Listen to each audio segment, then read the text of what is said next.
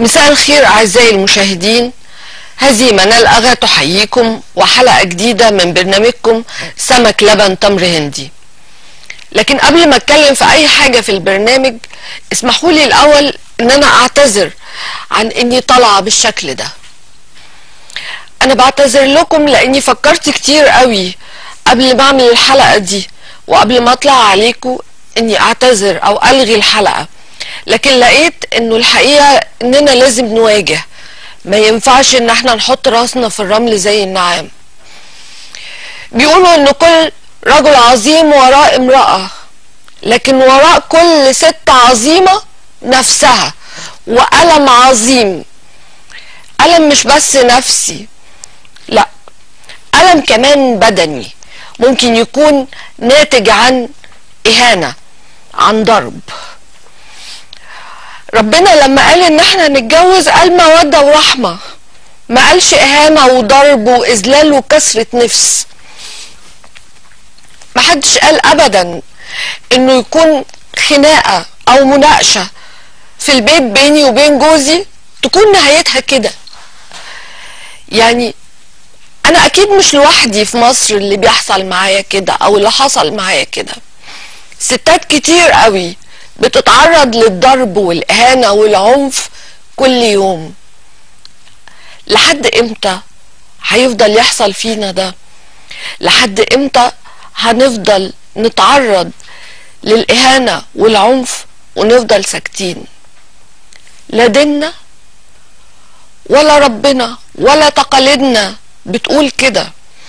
النهارده ما بقاش العنف مرتبط بطبقة معينة ولا بمستوى ثقافي ولا اجتماعي ولا حتى مستوى اقتصادي.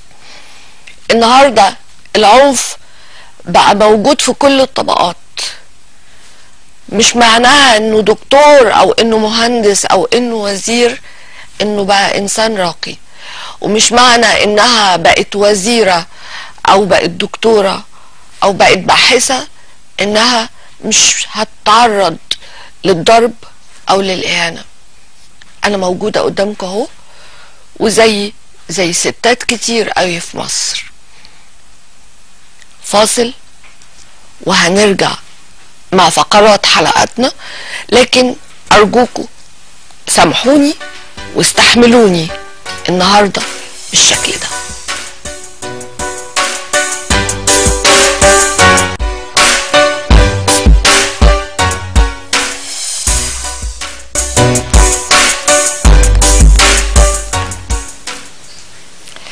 الشكل اللي أنتوا شفتوني بيه ده مش حقيقي. وحتى موضوع العنف ضد المرأة مش موضوع حلقتنا. موضوع حلقتنا النهاردة هو تغيير الحقائق. إحنا قدرنا اننا نغير الحقائق النهاردة بشوية مكياج من اللي بيعملوهم في الخدمة في الخدع السينمائية.